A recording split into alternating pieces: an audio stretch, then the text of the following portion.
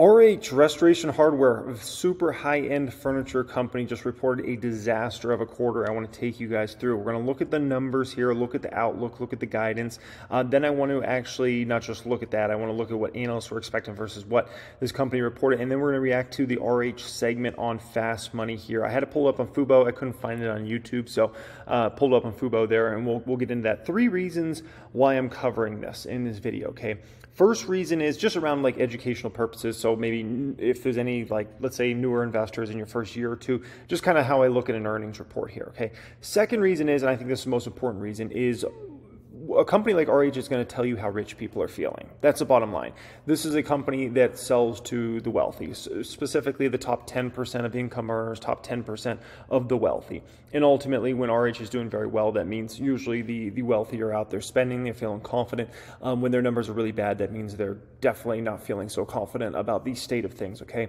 And the third reason I'm going to cover this is because RH is a stock I do want to own. Uh, it's not a stock I currently own, but I would bet uh, I'm going to change that pretty soon, okay? And this is a stock I actually want to build a position in. I like the company a lot for the long term, but there's no doubt they're going through a very bad time short term and it's likely going to continue on at least in the short term here okay? So hope you guys get a lot of value out of today's video. I appreciate everybody joining me. As always 25000 plus subscribers now on this channel i appreciate each and every one of you for being here as always if you're looking to apply to join my private stock group the private wealth group send you one of these in the mail um, check us out that'll be the uh, description area down there it might also be pinned comment okay now before we get into their numbers i just want to show you this because i think this is important okay this is one community in vegas look at how many homes are, are for sale in that community. Uh, this is like a luxury community, right? And just look at how many homes are for sale. I mean, it's a it's an immense amount. There's definitely a lot of homes. And there's a lot of people that aren't actually selling right now either because they know it's so hard to sell right now.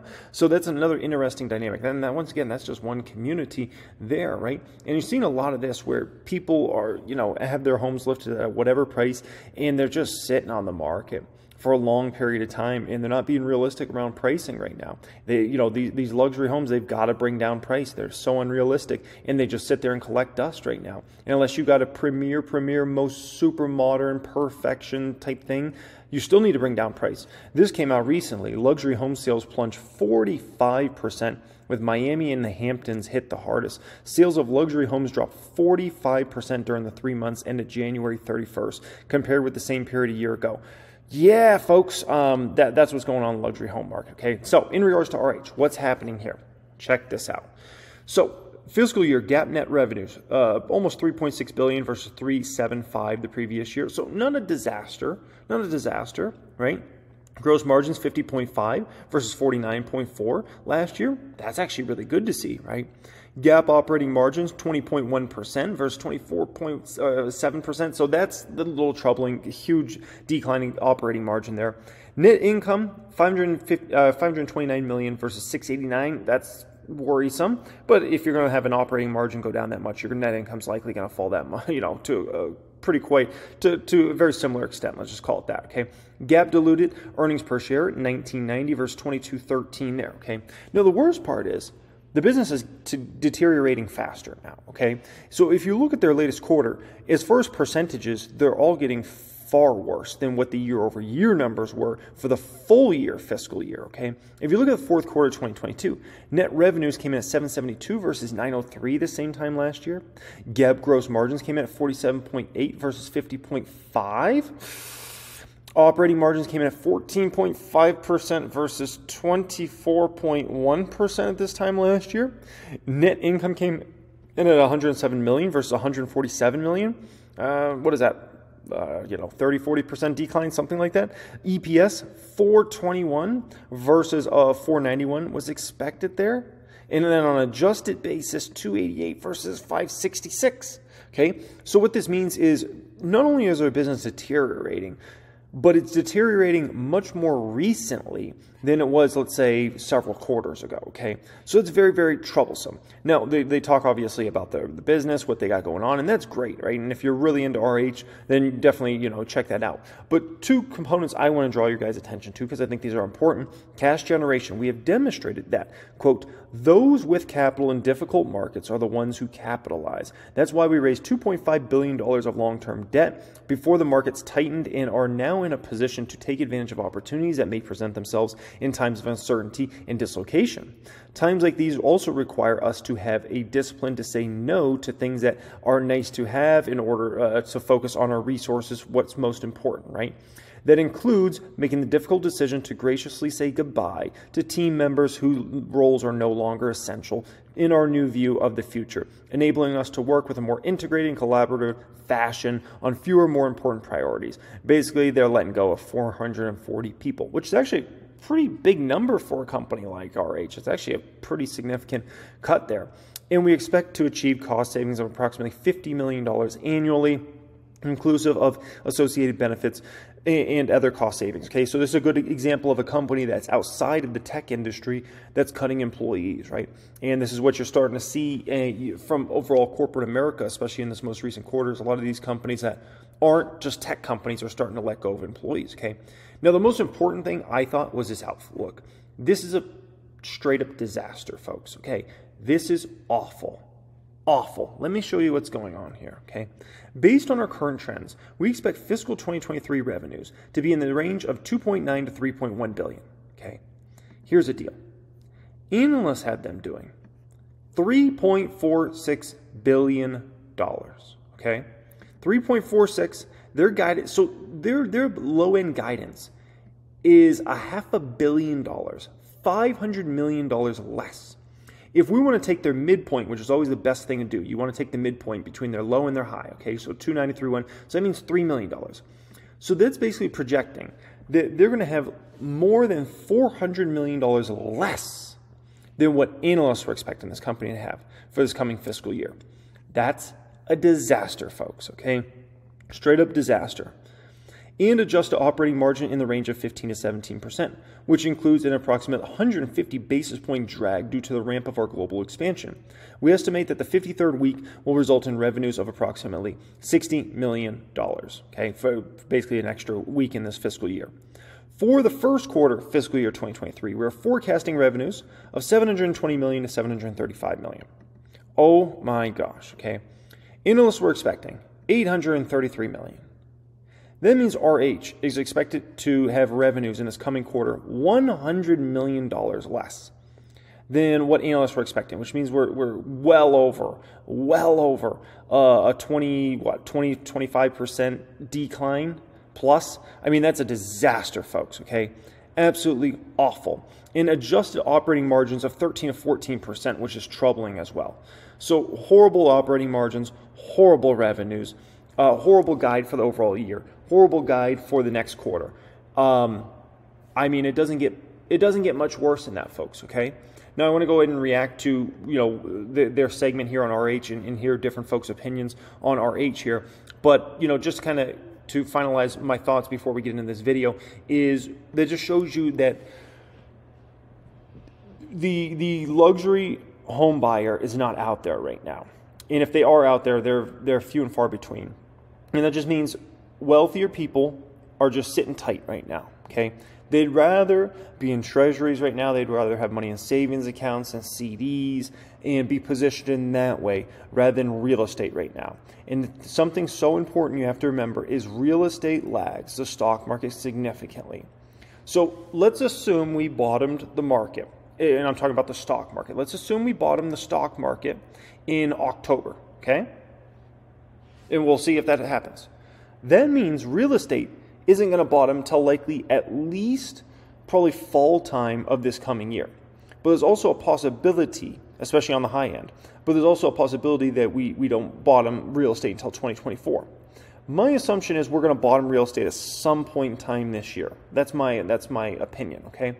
But it's also a possibility if the economy was to deteriorate quite, quite a bit more that we don't bottom until 2024 or worst case scenario 2025. Okay, so this is just something to keep in the back of your mind is real estate takes a while to bottom, and this is why you saw the stock market bottom in 2009 you did not see the real estate bottom until 2011, folks. Okay, so just understand there can be a year, there sometimes can be a two-year plus lag between when the stock market starts moving up and when real estate actually starts moving up again. Okay, so just something to kind of keep in mind in regards to all that. Okay, let's go ahead and react to what they're talking about on Fast Money here. Um, the, the names that you would extrapolate to.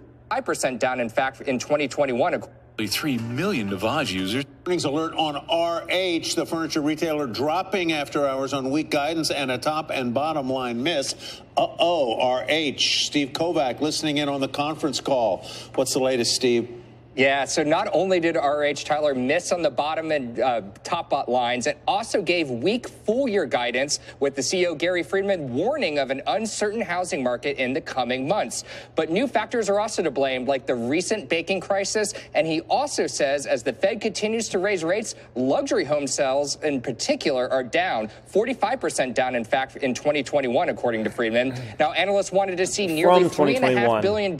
From 2021, not in 2021 luxury sales are phenomenal in 2021. I can tell you that much. That was a great year. Um, it's from 2021. New for the full year guidance, but RH only guiding up to 3.1 billion dollars. Meanwhile, Friedman also saying RH's full year 2022 sales were down from the peak pandemic in 2021. And now here's the money quote from his letter to shareholders.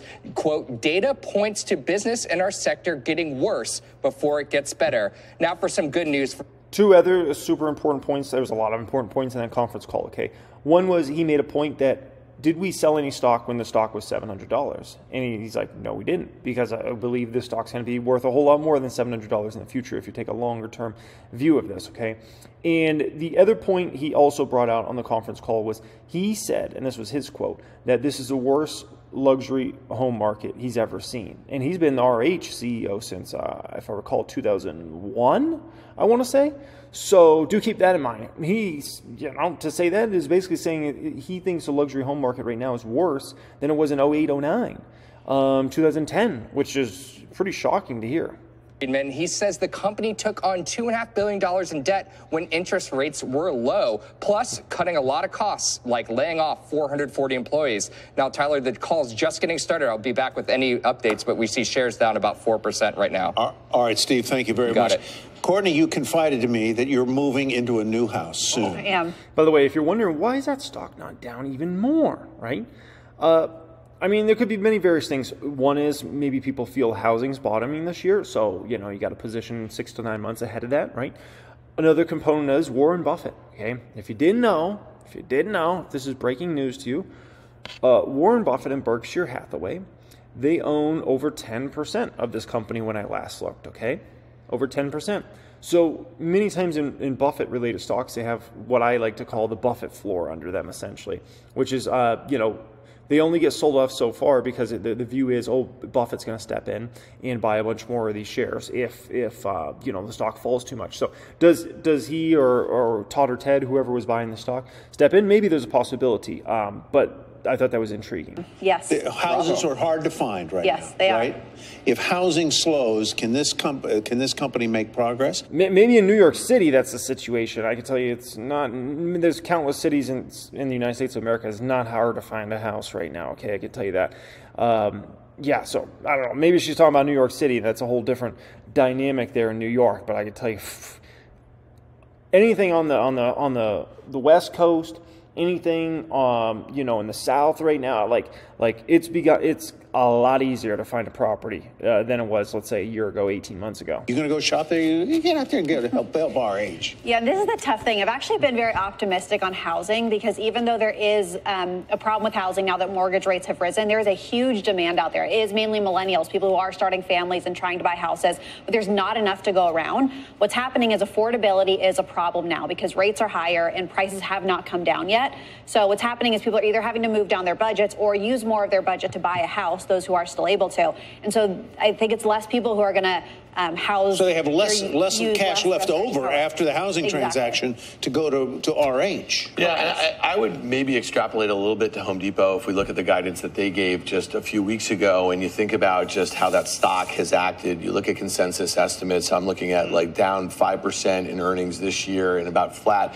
sales, and it's trading at a market multiple. I, I see like this thing could could rally or actually decline back towards those lows that we saw in the fall. That's another 10% or so. And again, that's going to be if we start to see declines of some of the peers or some of the, um, the, the names that you would extrapolate to. You know, this is an off-cycle name, and you could see estimates coming down, and you could see the stock coming down with it. So to me, RH is not that interesting to me. Um, I'd kind of extrapolate a little bit more to Home Depot and Lowe's, and we already heard from both of them, and it wasn't great. Just, we didn't build a segment around RH. He's not interested. No, I'm They're putting a great restoration hardware in Madison, New Jersey. I'm just letting you folks know. Is I'm that all, right? You like go in there and sit on the couches all day. you know what I mean? You walk in, there's guy, just pick his guy. It's funny you should say that, but it doesn't mean you should buy the stock on the You back. go, of you go there and you do find a lot of husbands oh. sitting Yeah. on the couches. I, I, I, look, who hasn't been there? them. Who hasn't been there? But here's here's the way I look at it. So inventories seem to be in line. Inventories are up 9.2 percent year over year. Unfortunately, that's against negative negative 14.5 percent sales growth year over year. So they have an inventory problem manifesting itself in margins, which was 16.5 percent. They were 25 percent the same quarter last year, and they're really guiding significantly lower for the year. So although on a multiple basis you look at it, just that snapshot, it looks cheap. Question is, is it going to get cheaper from, or is it going to get more expensive from Well, it's getting it's getting more expensive, Yeah. and and actually, I think it, it played itself certainly a month ago. I mean, look, the stock's down 40 percent going into these numbers, so it, it traded up to 18 and a half times. It's probably you know 17 and a half, 16 times at this point. Um, I, I think the margin issues are very important because this is a company that said they were going to defend the margin, said they're going to defend the price points. I think it's simpler than that. I think if you go back to where the market is trading on this, at one point at its peak, when people were very nervous about where we went, this the short interest on the stock was somewhere around 16, 17 percent. It's come all the way into eight, which is the low of where we were. I think this is uh, a concern. I actually think shorts are going to go after this thing again. Short interest has actually come down, even though the stock has pulled back a lot. I don't think you need to chase it. I have a small position. I hope to get it lower. all right. There's a lot more fast to come. And here's Small position for Tim. Oh boy, we might own the same stock. That's a rare occurrence. If you don't know Tim, he's a huge hater of Tesla for many, many years. All right, question is when do I start a position? Okay, uh, in RH. I can say I will start one really, really soon. I really, really soon. Okay, and the reason being is now they've, in my opinion, just thrown kitchen sink in terms of uh, horrible guidance for not just this coming quarter, but for the full year. And I, I'm looking at it from a situation where I think they're going to probably beat those numbers. They, they, they, they lowballed them so much that outside of an extraordinary event where housing gets destroyed way worse, and I'm talking about luxury housing specifically, because that's what affects uh, obviously RH the most, right? Outside of a scenario like that, um, I think likely we're, we're bottoming luxury homes at some point this year. I don't want to predict if it's 2Q, 3Q, or 4Q, but I'm very confident at some point this year luxury homes will bottom. We're going to start an uptrend from there. That's going to be bullish for RH. And when you just threw kitchen sink at the you know the quarter, horrible, horrible guide for the year, horrible guide for next quarter, horrible margin guide. Everything was across the board. It seems like Gary just wanted to put expectations on the floor and then hopefully you know, surprise to upside because it's not a good feeling to come in and miss and miss and miss. You'd rather set expectations on the floor and then come in and just slowly beat them, beat them. You get the, some momentum building with your team, confidence, all those sorts of things. So that's my opinion. I do like the company a lot for the long term, their strategies, everything they're going after, and I, I appreciate it. And I think it's going to be a, a huge winner five years out, 10 years out um, for long term investors. And clearly, uh, obviously, they think that's the same over there at Berkshire. So appreciate everybody joining me as always. Much love. Thanks for being subscribed. If you're looking to apply, join my private stock group, my private wealth group, and uh, you have goals to get to six figures in the market or maybe even, uh, let's say, seven figures plus, check us out in there. Appreciate everybody. Much love as always, and have a great day.